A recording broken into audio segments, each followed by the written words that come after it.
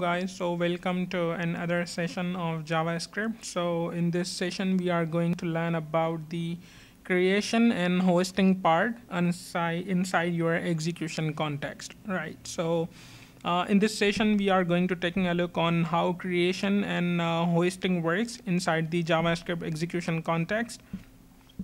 So in this uh, creation uh, we have uh, we have the creation phase first so in this creation phase of execution context, if there are uh, any variables, we are going to taking a look on now in a moment. So let's see how uh, those are being uh, working inside the JavaScript.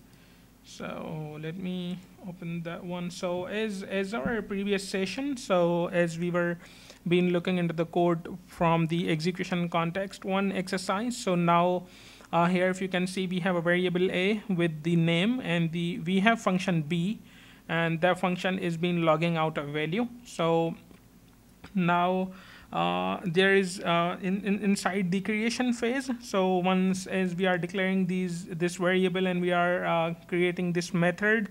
So in the execution context, so in the creation phase, uh, once we will once inside JavaScript we are declaring variables and creating method. So the memory uh, the memory will be going to allocate it for those ones when your code starts running inside JavaScript. So let's suppose var a. So that that var is being either like it's it's not dependent. It's been assigned with any value, but only the declaration var a.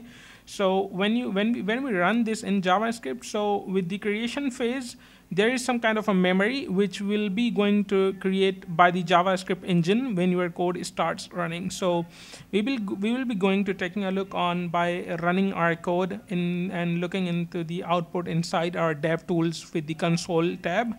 So let's see in a bit deeper. All right, so we have a variable a and we have a function b. So inside the creation phase, we will have to we will have to call that method, right? So now we are calling our method b, which is being created above, right?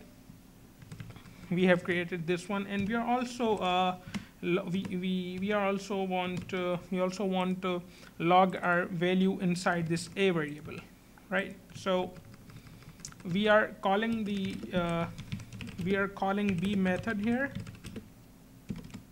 right? And we are calling a variable a as well. We are calling a variable to uh, taking a look on the output for this one. So what we expect from this uh, program. So on the first level, the B will be going to initiate, like B will be called, and inside B we have a console. So on the first level, we have output for B is called, and the second level, we will have an output for my name right? So this is the uh, this is the uh, expected behavior. So let's taking a look on it how our code runs. So you can see as expected, we have got that b is called first because this this represent like b method is called. On the second level, my name is printed. So this is how uh, we have expected our behavior. Right. So now it means after uh, it means after declaring uh, assigning a variable a writing a method b we are calling then after creations output is being serialized as we assumed right output is serialized like line by line javascript compiler it's been compiling the code and like it's been printing or whatever you are being executed at your output right so now what if inside the code base what if if i can uh, what if I can move the uh, I can move the uh, mechanisms of this calling above those. Right, so above this declaring a variable and calling uh, creation of method. If I've been calling those first before uh, declarations, so let's see how it will give us the output. So I have called my B method first, and on the second level, I have uh, printed my variable a, whatever inside this a variable. So then after I have created and initialized and assigned the variable with the values and some kind of uh, print mechanism. So let's see in our browser how it reacts. So when I refreshed my page, so as you can see, B is called. This is what B is called because the because we have uh, because we have uh, called that b first. We have called that b method first, if you can see. Right, so we have called that b method first. So that's what it's been here as b is called. And on the second level, we have uh, we have printed our variable a name. So on that thing, we have got undefined. So why undefined? right? So this is this is a question why undefined. So undefined why undefined for variable a because we are calling it before declarations. So if you can see here as I as I mentioned here, so we have moved calling of b method and uh, the variable a inside the printing thing. So we have moved those above before creation of those things.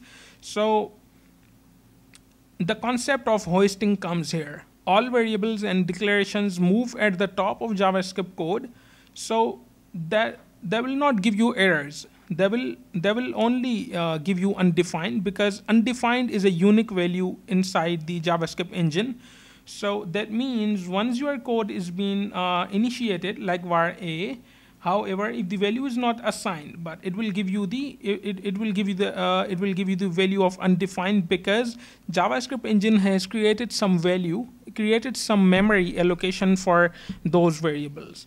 So if you can see it more uh, deeper, so if you can hide this line, now you will get the error because you don't initialize this var a.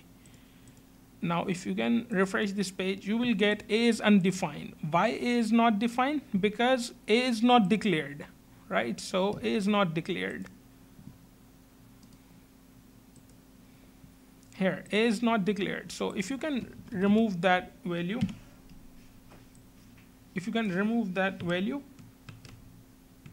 right? If, if you can remove that value and uh, comes up with var A, so now you can see we have we have initialized a variable a so now it will not give us the error of a is not defined because we have we have declared a variable a but we have not defined with its value